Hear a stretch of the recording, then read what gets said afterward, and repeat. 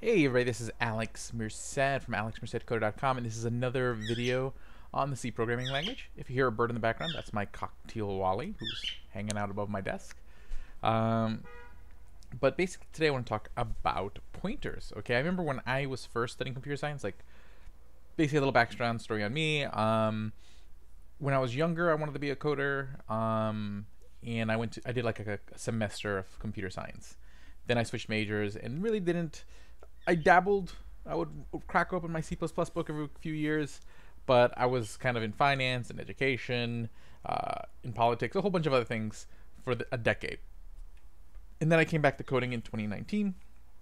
Spent a lot of time with JavaScript, Python, and Ruby. Um, and right now I'm going back to like C, C++, Java, all these things.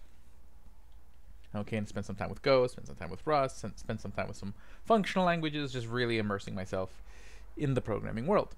So I remember when I first learned pointers were sort of like back in that semester of computer science, pointers were one of those things that really, really took me for a loop conceptually. So hopefully I can explain this in a way that makes this a little bit uh, easier to understand. Okay, so I'm going to create a new file. Okay, uh, new file. We're going to call this pointers.c.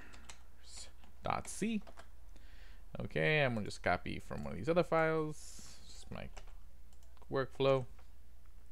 And then just make sure that I change this so that way later on when I want to run the file, I can just copy the command. Pointers, pointers. So again, GCC, that's the C compiler. I'm saying that the output should come out as pointers from the file pointers.c. And then as a secondary command, I want to run that file, pointers. Okay, and that's just there in a comment so I can run it later on. I'm to just clear this out. And here we go. So what is a pointer? Okay, so let's do an example. So let's create a variable that is an integer. So let's call this int num, um, and this will say int num equals 5. Okay, so that, that's a, a variable that equals the value. So this, this variable equals the value of 5. Now what I'm going to do is I'm going to create a variable that's going to be called num pointer and this is going to be a pointer to num. So the value of this variable isn't the number 5. The value of this variable is actually where in the computer's memory does num exist. Okay, so where does this actual, where is this value being stored? Okay, so if I say num pointer equals num, okay, that is going to be um, equal to the pointer, equal to the address of num. Okay, so now I can do this. So let's print these out. So I'm going to print f, put in a string. First, we're going to do the digit. So num is percentage d. That's for a digit. Okay, so d, or oh, did that. So then the new line character. Okay, and then we're going to put num where that percentage d is, that digit. Then we'll do another one. I'll just copy paste that. And we'll just say num pointer. And I want to, since I'm interpolating a pointer, I'm going to use percentage %p for pointer and do num pointer. Okay, so we can see what the value of the variable is. So let me copy this command, control C, copy, paste.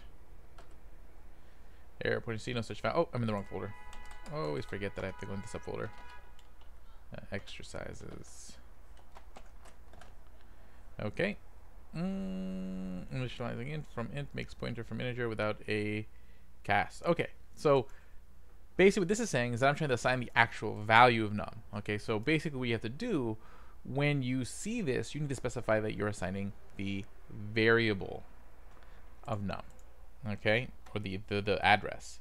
So to grab a variable's address, you use this ampersand. This means the address of the variable, not the variable itself.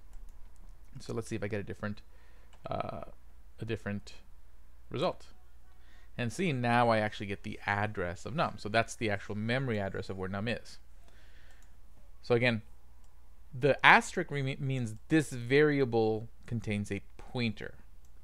And num refers to the address of that variable. Okay, now where does this become useful? Okay, because there's going to be some times where you may want to manipulate a variable from a function. You may want to mutate data. And that doesn't necessarily how functions always work. So let's create a function real quick. So we're going to say called int add 1. And add 1 is going to take one uh, variable. So my first, we'll just do it with an integer. int num. Okay, we'll just call, actually we'll just say int x. That's going to be the variable. And all it's going to do is return um, actually not even return it. It's not going to return anything. It's just going to say x equals x plus 1. And I think that we'll see if that works. Okay, and then what I'm going to do is I'm going to print f. I'll just copy it from here. Printf x is whatever and x. Okay, so here we're seeing what the value of x is inside the function. Okay, and so what I'm going to do is after we print this, I'm going to invoke that function and pass it num. Okay, I'm passing it num. And I put the asterisk the semicolon there. Let's run this. Okay, and see, x is 6, because see, we added 1 in the function. So as we see from the output, again, x is 6. Okay? Now, just to test, to show you that technically, even though I passed in num, I didn't actually change num. Let me actually invoke the function before we print these. So we can see, hey, if I change num here and I change it to 6, does it affect this print right here? And it does not see x, even though I altered x, when you pass in just the value, so I'm just passing in an integer, it makes a copy of the variable. So I'm not actually manipulating num, I'm manipulating a copy of num. Now let's see I change the variable like this. Okay, so let's say instead I want it to be a pointer to an integer. Okay, so instead I'm passing in the address of num. Okay, now let's see what the result looks like now. Okay, oops, some syntax errors. Argument of the type int, but argument has type int. Do do do do do do. -mm -mm, mm.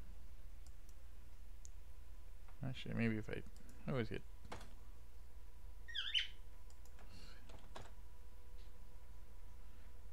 I should be getting it. Okay, so we can add x plus 1. Okay. See, if I change that to a p, though, that's just going to give me the address, but let's just see. Numbers 5.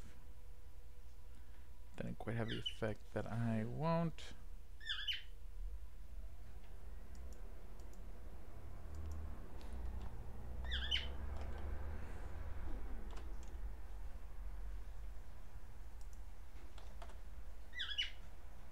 Mm, mm, mm, ah, that's giving me at the moment. Let's see here. X.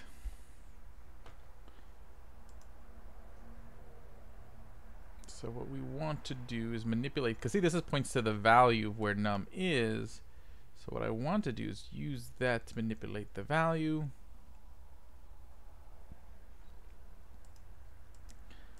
Do, do, do,